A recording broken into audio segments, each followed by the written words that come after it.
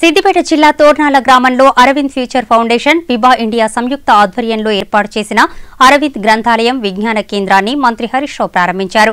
ఈ సందర్భంగా తోర్నాల జెడ్పీ హైస్కూల్లో ఏర్పాటు చేసిన సమావేశంలో అరవింద్ తండ్రి కిషన్ రావుతో కలిసి అరవింద్ చిత్రపటానికి నివాళులు అర్పించారు.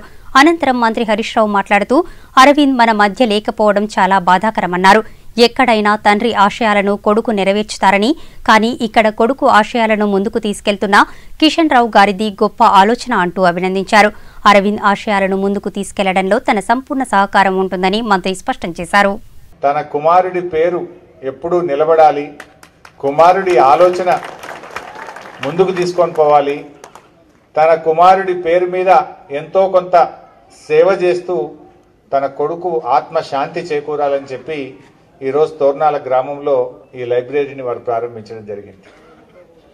మరి ఈ లైబ్రరీకి సహకరిస్తున్నటువంటి స్కాటలీనాగా అదేవిధంగా విభాగా నుంచి వచ్చినటువంటి ప్రతినిధులకు కూడా నేను ఈ సందర్భంగా ధన్యవాదాలు తెలియజేస్తూ అరవింద్తో నాకు సాన్నిహిత్యం తక్కువ కానీ వాస్తవానికి వారు చనిపోయే కొద్ది రోజుల ముందు ఒక పెళ్ళిలో నేను వారిని కలవడం జరిగింది.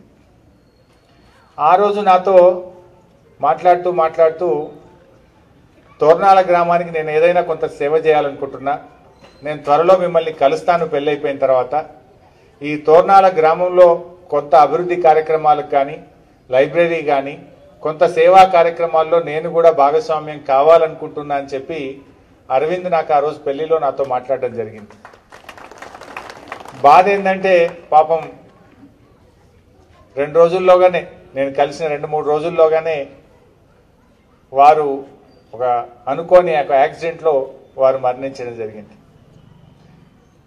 అరవింద్ మన మధ్య లేకపోవచ్చు కానీ అరవింద్ నాతో మాట్లాడినటువంటి మాటల్ని ఈరోజు పెద్దలు కిషన్ రావు గారు దాన్ని నిజం చేసి ఆయన యొక్క స్ఫూర్తిని ఆయన ఆలోచనను ముందుకు తీసుకుపోయే ప్రయత్నం చేసినారు.